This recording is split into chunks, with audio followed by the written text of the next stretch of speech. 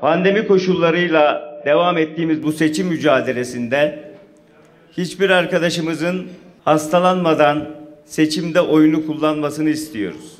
Ondan dolayı da çok fazla uzatmadan çok kıymetli meslek odasının başkanı Sayın Ahmet Rıfat Yetkin Beyefendi'ye de bir veda etmek istiyoruz. Kendisi belki başkanlığı bırakacak ama bundan sonrasında ve bundan sonraki nesil emlakçıların aklında ve kalbinde hep bu mesleği düzgün temsil eden, onuruyla, şerefiyle mücadele etmiş bir başkan olarak hepimizin akıllarında, dimağında yer edeceğinden eminim ben.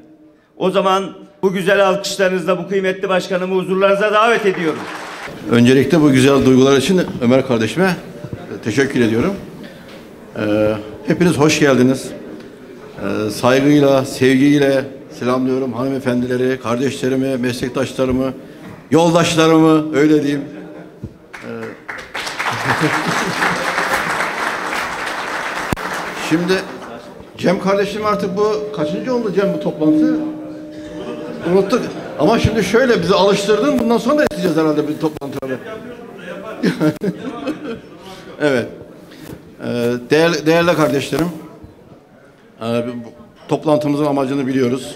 Ee, inşallah e, ayın 15'inde Cumartesi günü yapılacak seçimde Cem kardeşimizi cani gönülden e, destekleyeceğinizi bildiğim için ben de bana konulan engeller onlara rağmen gönülden hakikaten bana bakın dört yıllık e, yönet, başkanlık döneminde bana tek yardımcı olan bakın. Arkadaşlarım hepsine teşekkür ediyorum. Yönetim arkadaşlarım var burada.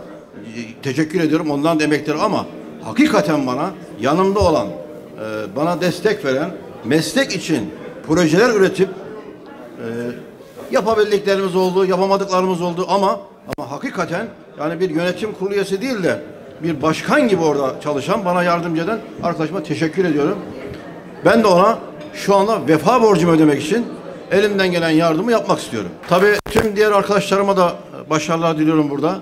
Ee, dün akşam bütün başkan e, kardeşlerimizi, top başkan aday kardeşlerimizi çağırdım. Şimdi orada herhangi bir şey yaşanmasın. Orada e, hakikaten bize yakışan, daha doğrusu Ankara'ya yakışan e, güzel bir atmosferde bu genel kurulumuzu güzel geçirmemiz için arkadaşlarımı çağırdım. Çok da güzel bir toplantı yaptık. Hepsine de teşekkür ederim. Bakın saat dörtte aradım. Akşam saat dörtte aradım.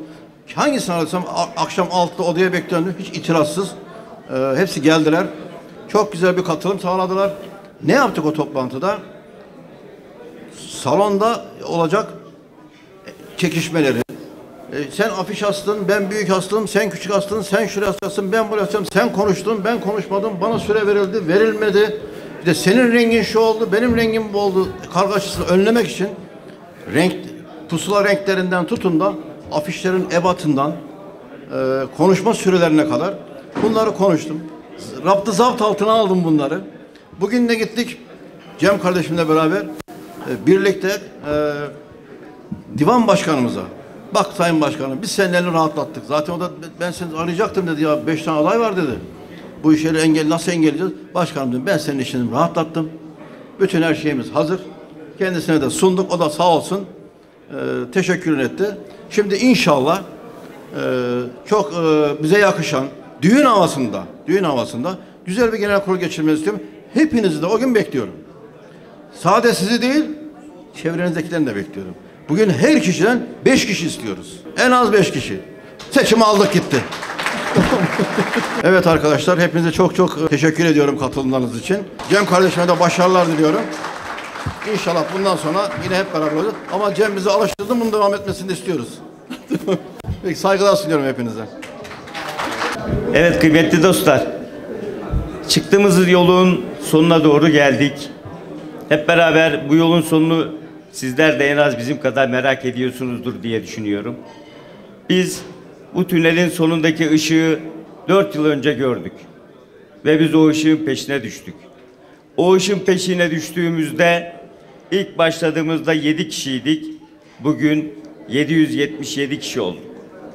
İnşallah bunu da cumartesi günü seçim sonrasında hep beraber gerçekten neleri yaptığımızı, neleri yapmamız gerektiğini kıymetli meslektaşlarımızın da desteğiyle bu büyük topluluğu nereye ulaştıracağımızı hep beraber göreceğiz. Bu yolculuğa çıktığımızda baş başa bir fotoğraf koymuştuk.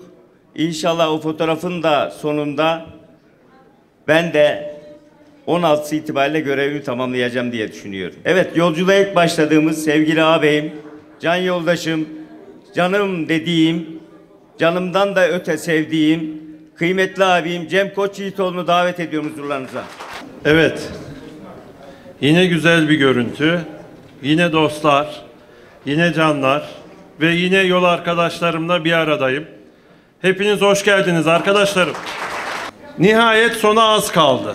Cumartesi günü bu emeklerimizin karşılığını alacağımız gün olacak.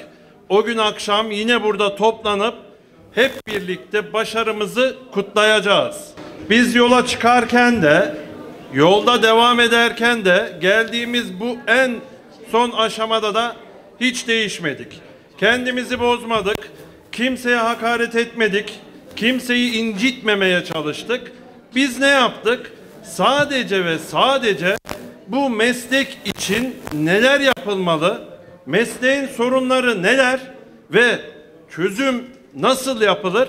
Bunları anlatmaya çalıştık meslektaşlarımıza. Meslektaşlarımıza da bunları geçirebildiğimize inanıyorum ki gittiğimiz her yerde bizi coşkuyla, sevgiyle karşılıyorlar ve e, sarılmak için can atıyorlar. Ama pandemi olduğu için sarılamıyoruz fazla tabii. Fakat şu pandemi geçsin, acısını çıkartacağız. Bol bol sarılacağız birbirimize. Hasret giderircesine. Arkadaşlar çok fazla uzatmayacağım. Bu çıktığımız yolda çok ciddi engellemelere çalıştılar bizi. Ufak tefek ayak oyunları yaptılar. Arkamızdan konuştular. Bizim arkadaşlarımızı aradılar. Meslek büyüğü dediğimiz kişiler yaptı bunu. Arkadaşlarımızı aradılar. Senin Cem'in toplantısında ne işin var? Onların yanında ne işin var? Görüntülerde seni görüyoruz. Bak buna git. Diğer adayı engelleyemezler arkadaşlar. Bizim birlikteliğimiz çıkar birlikteliği değil. Bizim birlikteliğimiz rant birlikteliği değil. Bizim birlikteliğimiz önce gönül birlikteliğiyle başladı. Sonra da bu mesleğe yapacağımız katkıları konuştukça mesleğimizin ve meslektaşımızın faydalanması için gerekli olan birlikteliğe döndü. Bu birlikteliği de hiç kimse yıkamaz, hiç kimse bizim oraya gelmemizi engelleyemez. İnşallah cumartesi günü herkes görecek. Herkes görecek cumartesi günü. Çok şaşıracağınız bir sonuç çıkacak arkadaşlar. Bakın buradan söylüyorum. Diğer bütün adayların aldığı oydan en az bir fazla oy alarak geleceğiz. Hepsinin toplamından en az bir fazla oy alacağız. Bunu atarak, sallayarak söylemiyorum. Gittiğimiz her yerde gördüğümüz tepkilerden söylüyorum. Arıyorlar bizi diyorlar ki ya organizasyonunuza gelemiyoruz. Ya işte birlikte resim veremiyoruz. Ama merak etmeyin. Oyumuz sizin olacak. Oyumuz sizin olacak. Baskı yapıyorlar her yerde. Diğer meslek büyüklerimiz. İşte Ahmet abi de biliyor Sayın Başkanım neler yaşadığımızı.